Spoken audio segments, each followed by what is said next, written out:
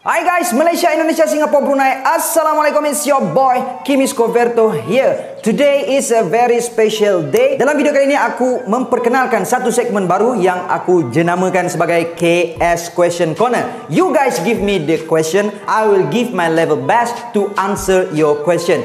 But before we proceed, kepada korang yang masih lagi belum subscribe channel ini, aku harapkan korang dapat subscribe dan menekan bell notification supaya korang tak terlepas video-video terbaru daripada aku. Ayo kita jadikan channel ini setanding dengan channel-channel teori yang ada di seluruh dunia. Ikut tu! Yarudomo!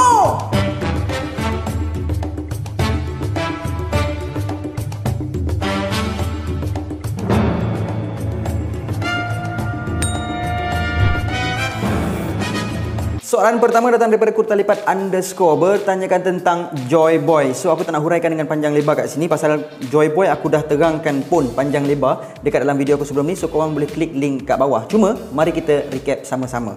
Joy Boy adalah individu yang hidup 900 tahun dahulu dan dia at some point telah buat janji dengan warga Fishman Island untuk mengangkat semula bahtera Noh ke permukaan dengan bantuan Poseidon but at some reason dia telah gagal dan dia telah mem menulis satu surat permohonan maaf dekat atas batu poneglyph.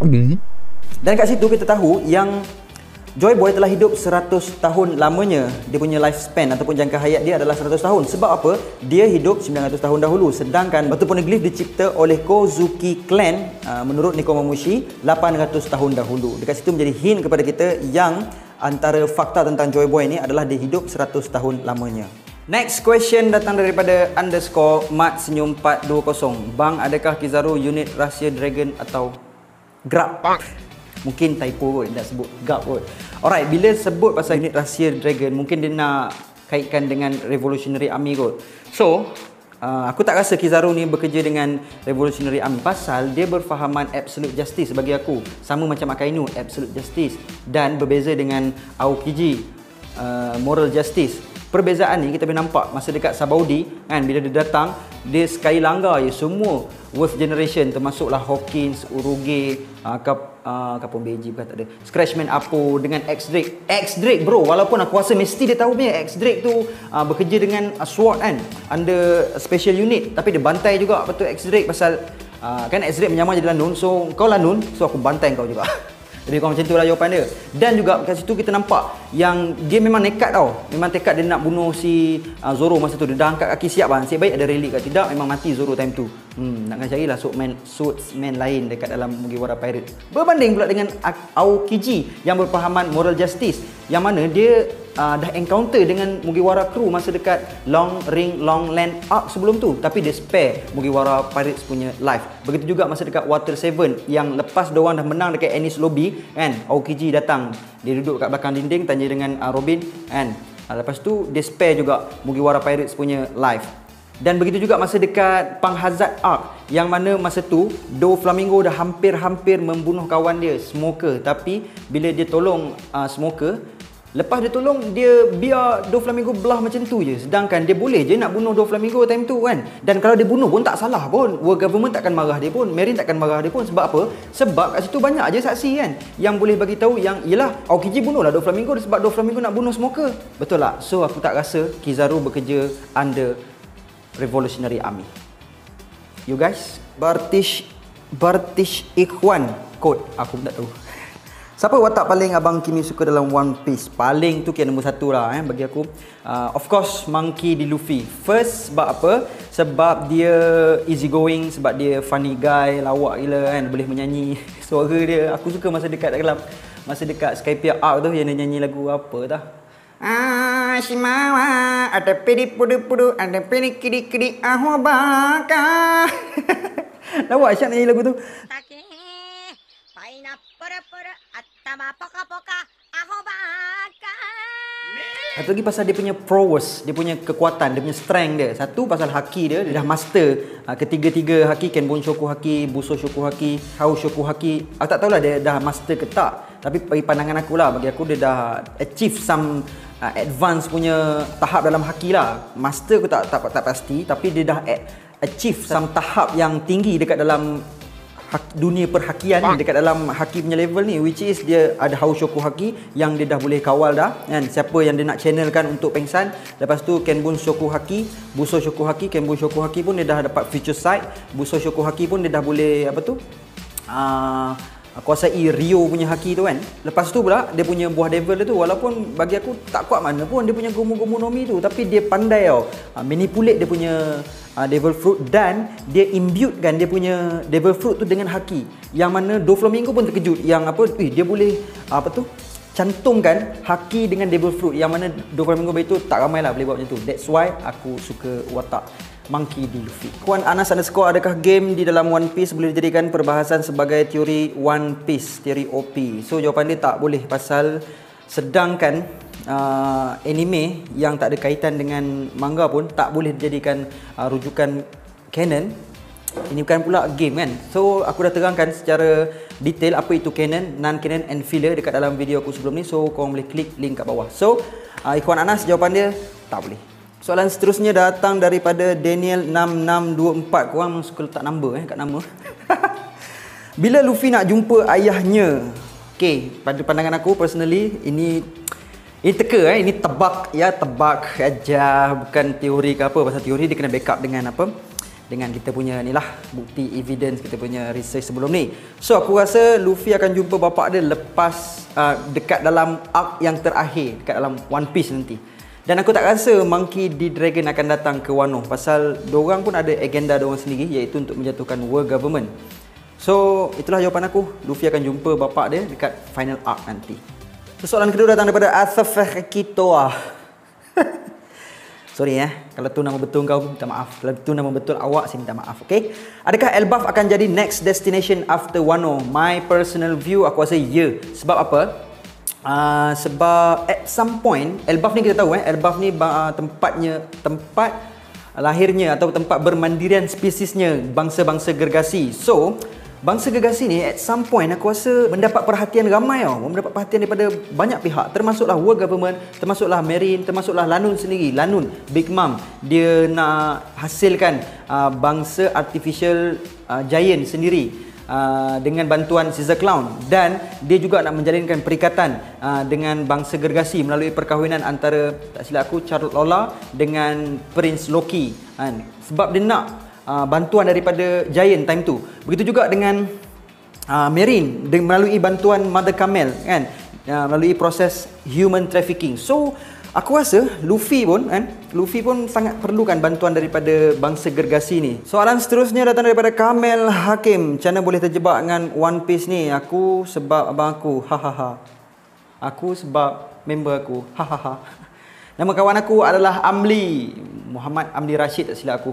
Kan masa tu aku dekat dalam apa tu dekat dalam bilik. Lepas tu aku tengok orang tengah menonton One Piece. Ha, masa tu dekat Summit War, Marineford War. Ha, aku tak betul dia orang macam gempak. Ui gila ah White Beard. Ui gila ah Marco. Ui gila ah Kaino. Aku cakap, apa benda lah budak-budak ni dengan anime pun kau macam trigger gila kan. Anime pun kau macam excite gila kan. Bagi aku macam apa budak-budak ah dia orang ni. Lepas tu Aleng nama dia kan. Amli tu aku panggil Aleng. Aleng cakap, "Ai, Mi kau kena tengok dulu Mi, kau tahu perasaan dia macam mana." Aku pun tengoklah start layan. Aku start layan dekat Marineford War dulu. Lepas tu macam tak ada apa kan. Betul aku start layan episod 1, episod 2, episod 3. Pelan-pelan aku macam minat ah. Sampailah sekarang. Soalan seterusnya. Oh, macam Ustaz Azhar dulu. Ha. Syahmi underscore. Apakah teori abang kalau agar kami turun perang Wano? Adakah dia akan menghentikan perang sama macam Ace? So, aku punya pendapat personally. Personally, bolehkah dia, bolehkah dia hentikan peperangan? Sama macam dekat Marineford War dulu. Alright. Kau kena faham yang dulu dia nak hentikan peperangan. Dia deal dengan tau dengan fleet admiral masa tu Seng Goku yang memiliki moral just, moral justice tau. So kau boleh macam man-man lah kat situ boleh bertolak ansur lah. So uh, Seng Goku pun cakap okay alright kita stop kita punya perang kat sini kita punya motif pun dah dapat iaitu nak execute Ace. Ace pun dah di execute so kita hentikan peperangan. Lebih kurang macam tu lah eh. tapi ini Wano bro. Between siapa kita berperang? Between Kaido. Kaido yang satu dia nak mati Kan? Yang kedua dia nak cetuskan peperangan terbesar. Lepas tu kat situ pula ada Big Mom. Big Mom ni ikut pula law kan. Kalau Sheng datang tiba-tiba kan. Dengan tak ada tangannya. Ada masuk aku tak lah. Nak masukkan yang Sheng tu tak kuat. Masuk aku kan. Sheng tu ada Yonko. dia apa tu dia berhadapan dengan dua Yongko kan nak minta dua Yongko ni untuk stop aku tak rasa dia akan stop that's my answer Alright, soalan seterusnya datang daripada Abdul Khalid kot. Eh Khalid yang bertanyakan boleh terangkan tak beza moral justice and absolute justice in One Piece. So kalau aku nak terang kat sini mungkin uh, penerangannya akan jadi panjang. So aku bagi sedikit sahaja kat sini dan insya-Allah kalau berkesempatan aku akan buat special video untuk soalan Abdul Khalid ni lah. So, moral justice and absolute justice. Dekat dalam Marine, kita semua tahu dia orang uphold satu moto yang bernama justice. Sampai dekat belakang cape dia orang pun uh, tertulis justice kat situ. So, ada dua. Satu absolute, satu lagi uh, absolute justice dengan moral justice. Absolute justice ni, so, Marine, dia orang bermusuh dengan Lanun. Jadi tak kira lah uh, Lanun tu dia berperangai baik ke, berperangai jahat ke. As long as dia tu Lanun, kan? Kita akan bunuh dia kita akan stop dia kita akan penjarakan dia. Dan termasuklah orang yang bagi bantuan kepada Lanun itu sendiri pun akan dibunuh akan di apa tu ditangkap dipenjarakan. Sedangkan apa tu moral justice ni pula moral justice ni dia lebih kepada pendapat yang independence lah seseorang. Memiliki pendapat pendapat yang independence pendapatan pula dah. Ataupun dia memiliki ideals yang independent tentang justice ni dan uh, moral justice ni sebenarnya tak salah pun dekat dalam marine dan world government pun membenarkan orang yang berfahaman moral justice ni as long as orang taklah sampai menghina uh, world government. Contohnya macam uh, Fujitora dekat Dressrosa dia telah apa tu bagi penghormatan kepada King Riku sebab apa? Disebabkan Shichibukai ni lah korang dah meng, uh, menghadapi kesusahan selama beberapa tahun yang lepas disebabkan uh, kesalahan kami korang yang tanggung derita ni.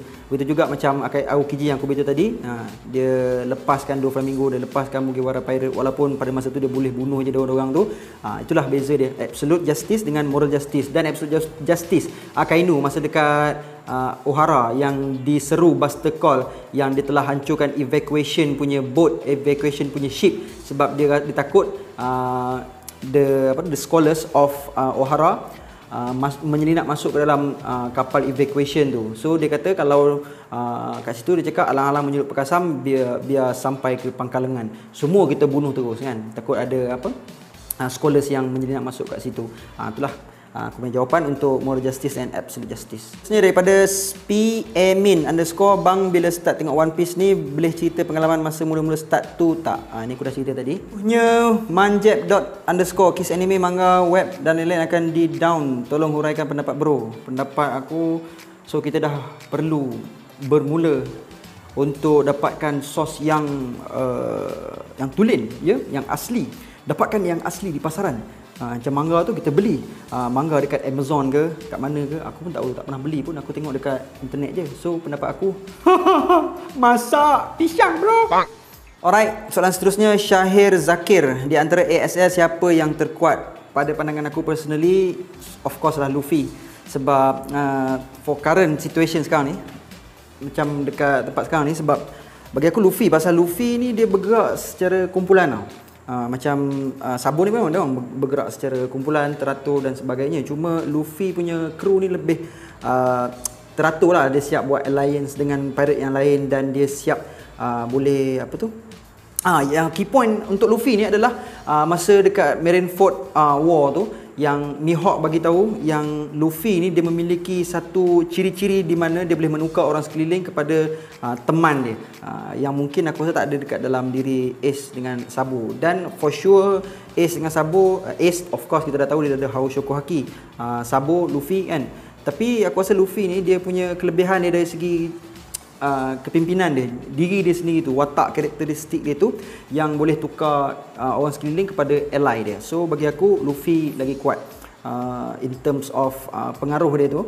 Dan strength pun aku rasa Luffy lebih hebat lagi daripada Ace dengan Sabo sebab Ace dia lebih uh, bergantung kepada dia punya buah devil fruit tau macam Luffy ni kan dia lebih kepada dia punya apa haki. Eh, maksudnya dia, dia balance lah haki dengan dia punya devil fruit. Dia siap macam aku cakap tadi dia siap boleh cantumkan haki dengan dia punya devil fruit lagi. So that's my answer. Soalan seterusnya datang daripada Firdaus Meran. Favorite character dalam One Piece and favorite devil fruit? Aku dah bagi favorite devil fruit Okey, untuk soalan favorite karakter aku dah beritahu tadi dan favorite devil fruit adalah Yami Yami Nomi. Pasal apa? Pasal semua buah devil tak tak berguna kalau lawan dengan uh, Yami Yami Nomi. Setakat mana yang kita tahulah uh, macam uh, Ace bila lawan dengan Blackbeard kalah macam tu je. Dia punya devil fruit tak boleh pakai bila bila Blackbeard pegang badan Ace kan. Blackbeard. Yang tu juga Whitebeard kan. Uh, Whitebeard yang nak serang uh, Blackbeard, dia punya devil fruit tak boleh tak boleh guna. Uh, so aku punya favorite Devil fruit adalah Yummy Yummy Nomi.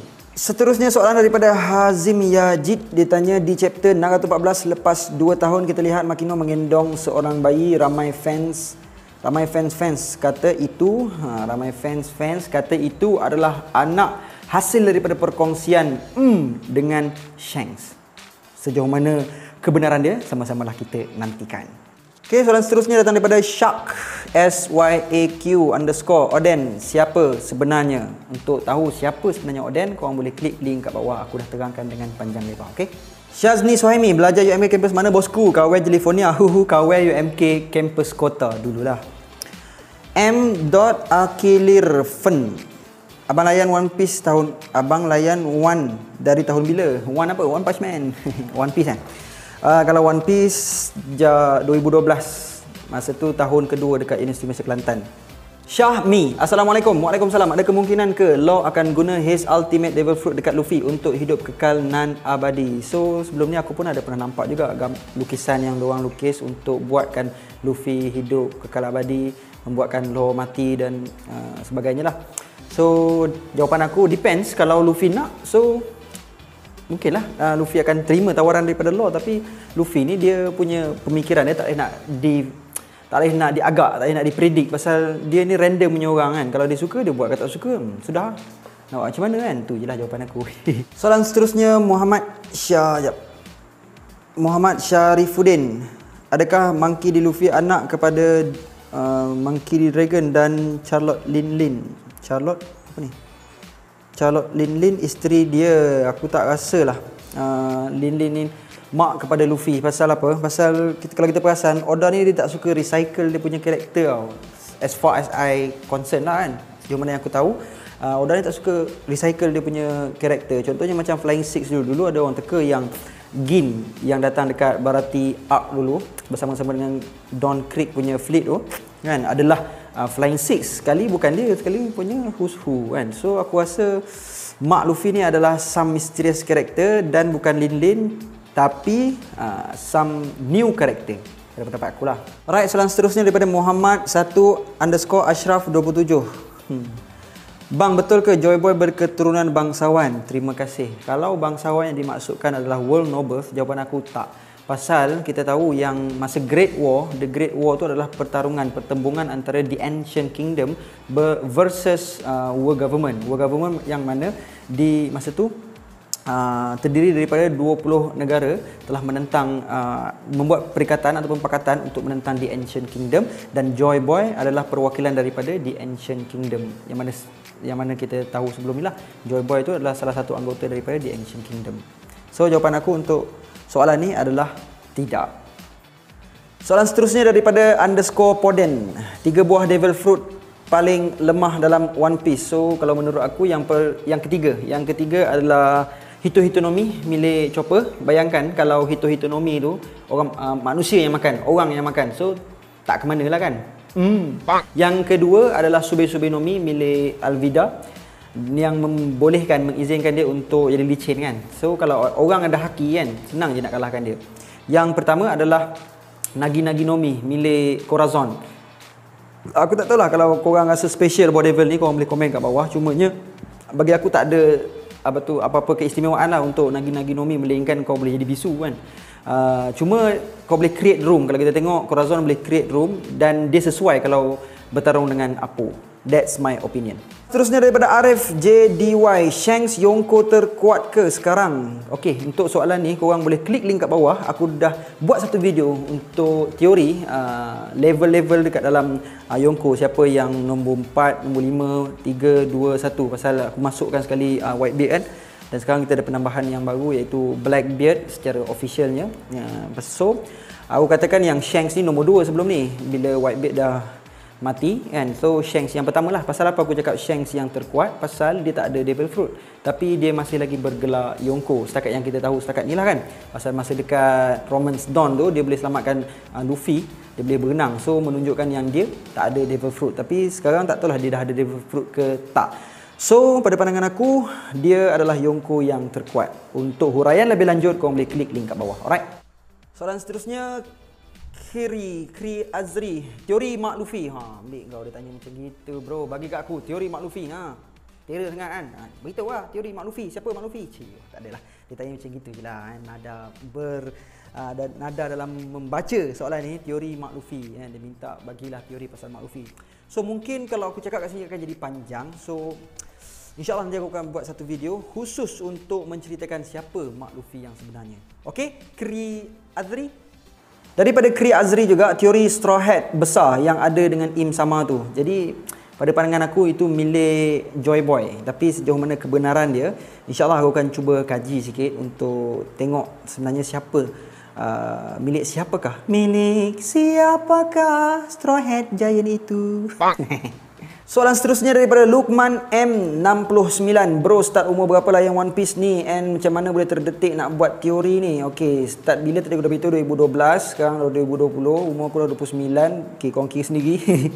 Dan macam mana boleh terdetik nak buat teori ni? So, terdetik bila aku nak buat teori One Piece ni adalah first, uh, aku memang layan sangat-sangat uh, One Piece. Dan yang kedua, aku suka research. Uh, aku suka research. Bukan pasal One Piece saja macam-macam benda. Aku suka research macam contoh sebelum ni pasal Syiah lah pasal apa tu uh, Illuminati lah kan. Betul bila dah aku terjebak dengan dunia ke One Piecean ini aku suka research lah. Tengok betul eh uh, Luffy ni macam mana? Gomu-gomu gomu-gomu nomi ni apa kan?